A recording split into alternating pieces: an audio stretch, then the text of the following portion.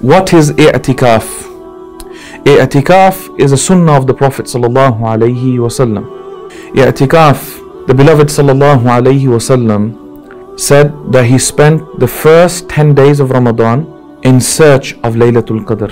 He did not find it there.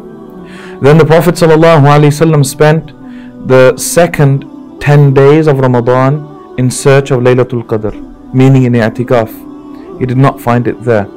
Then he was informed, wasallam, that Laylatul Qadr is within the last 10 nights of Ramadan.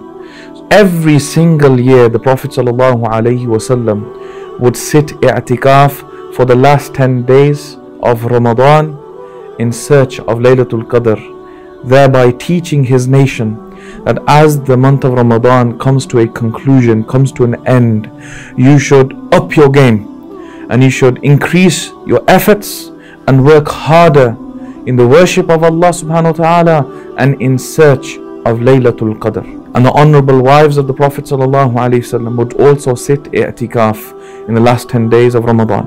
The Prophet ﷺ would sit i'tikaf in the masjid and that's what the men do, the men sit i'tikaf in the masjid and the honorable wives would sit i'tikaf in their homes. And that's what the sisters do is that they will have a designated room within their house where they will detach from the world and focus on the worship of Allah subhanahu wa ta'ala for the last 10 days of Ramadan.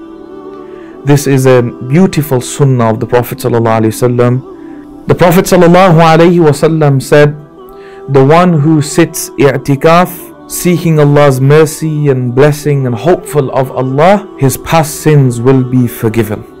Subhanallah, something that we all are in need of, having our sins expiated and removed and forgiven.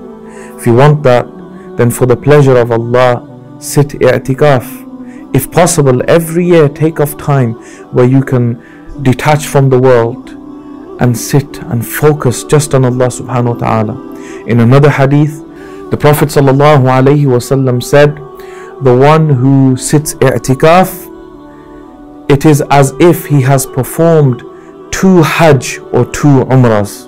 Subhanallah. The reward of i'tikaf is so vast that the one who sits i'tikaf, it is as if he has performed Hajj twice or performed Umrah twice. Subhanallah. So inshallah, make intention, if possible, this year to sit i'tikaf. Before sitting i'tikaf, you should learn the rules and regulations regarding i'tikaf and also learn about the hukuk, the rights of the masjid. Because the last thing you want is for you to go to the masjid, breaking your i'tikaf without knowing or breaking the rights of the masjid and rather than receiving blessings, receiving curses from Allah subhanahu wa ta'ala and the angels. So definitely make intention of sitting i'tikaf. If you have not prepared this year, then make intention that next year you will sit i'tikaf and you will detach from the world and focus on your worship of Allah subhanahu wa ta'ala. If you have benefited, and I am hopeful that you have benefited, then please do like, follow, and share this with family and friends. Barakallahu feekum.